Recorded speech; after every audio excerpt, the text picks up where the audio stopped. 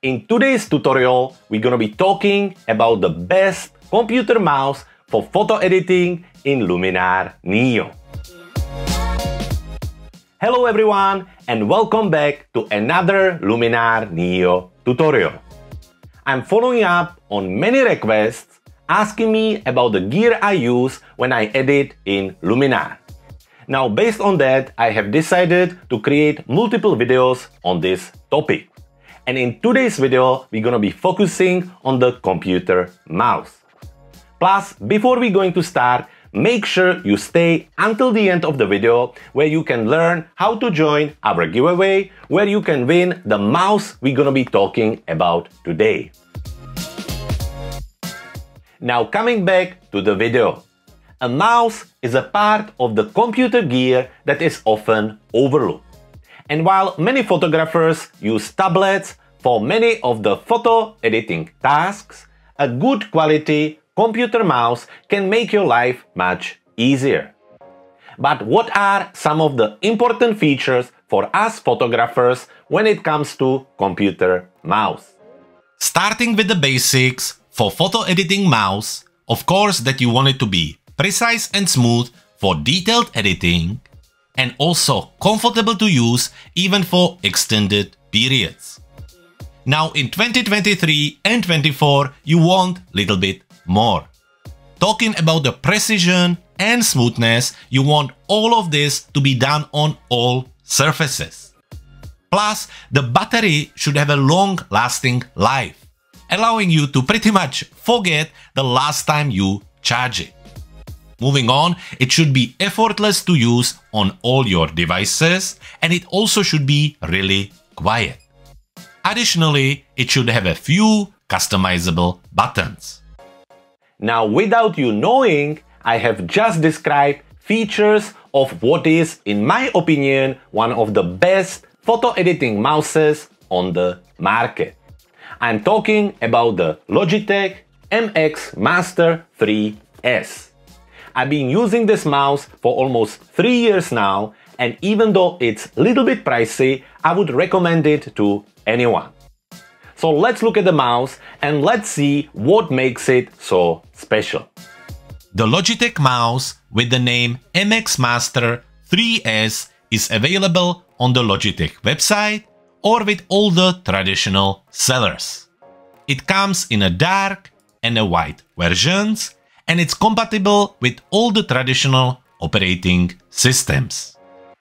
Depending on the time of the year, the price is usually around $100 or 100 pounds. Talking about the precision and smoothness on all surfaces, the MX Master 3S uses an 8000 dpi sensor which performs incredibly well on any size of your screen, plus it will track even on glass. In reality, the mouse has fast and smooth movement around the screen and it responds accurately to small movements that allows you to make fine adjustments to any slider. Its smooth operation will also help you with masking adjustments without any jitters or lags. When it comes to the comfort, the mouse has a perfect design that ensures comfort even for long editing sessions. I really enjoy the fact that the mouse is a little bit bigger and it has a specific resting space for the thumb that allows you to use some of its custom buttons. Now let's talk about the battery for this mouse. Once it's fully charged, it lasts up to 70 days. But not only that, once you run out of the battery, you can use the USB-C cable to charge it and with just a 1 minute of charge, you will get 3 hours of use. Now there are other great features that include super quiet clicks and powerful 1000 lines per second scrolling. But to me, even more important fact is that it can easily be used on multiple devices and once you connect your mouse through the Bluetooth or the included wireless bolt, you can work seamlessly between computers by simply moving the cursor to the edge of the screen or by pressing the device button at the bottom of the mouse. Finally, the mouse comes with a number of customizable keys that can really help with efficiency. Those keys can be programmed for specific actions in Luminar Neo or any other software to speed up the editing process. For example, you can set up the mouse to control the size of your brush or switch between paint and erase modes in masking tool. Now talking about the custom keys and buttons for this mouse, I want to quickly show you how you can easily adjust them to use them in Luminar Neo. When you get the mouse, you also get application that is called Logi Options Plus. When you install it, you're gonna be able to select your mouse, and in the next window, you will be able to select the buttons options. Here you can see the presets or the default presets already applied to the mouse. However, you can adjust them based on the application. You can see that I have some of the presets for the Premiere Pro, Chrome, also Excel and so on. So at this moment, Luminar Neo isn't here. However, you can click on the plus sign button and then scroll through the list until you see Luminar Neo. Once you find it, you can select it and then click on the confirm button. With the new window or the message, simply click on continue and then Luminar Neo will appear in your list. Now, how you gonna set up your buttons is completely up to you. However, let me show you how I do it. So I set up these three buttons here.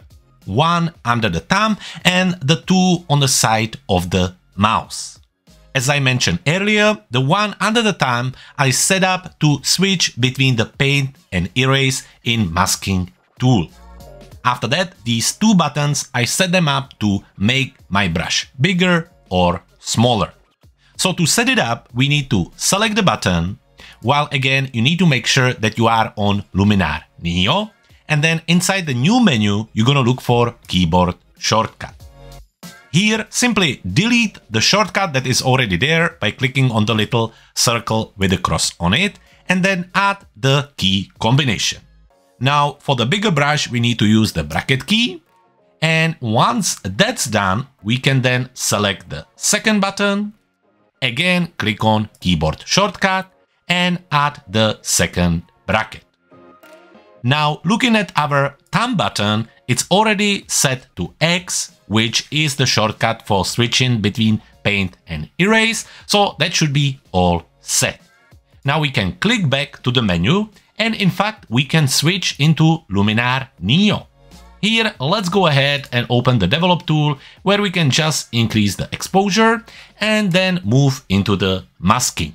In the masking, we're gonna select the brush and let's go ahead and try how our mouse works.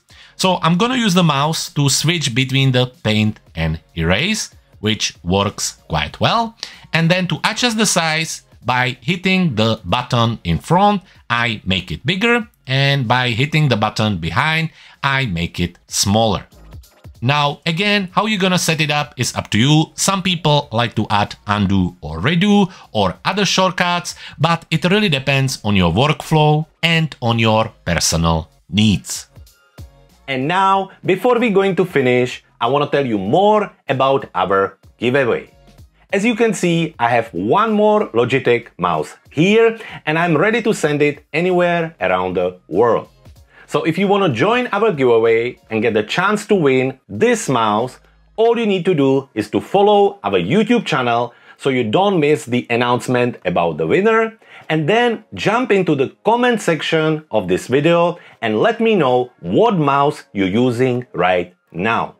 So to get the chance to join our giveaway and win this mouse right here, then follow our channel and let me know in the comments what mouse you're using right now. And there you have it. If you want a copy of our popular Luminar Neo shortcut cheat sheet, there is nothing easier than heading to our website cleverphotographer.com slash luminar give. While you're there, you can also check out one of our popular Luminar Neo products, or you can stay here and watch more videos about Luminar Neo. For today, I hope you enjoyed this episode. If you did, please make sure that you like, comment and share on this video. And also don't forget to subscribe to our channel so we can keep creating content like this. For today, thank you very much for watching. My name was Jakub Bors and I can't wait to see you in the next video.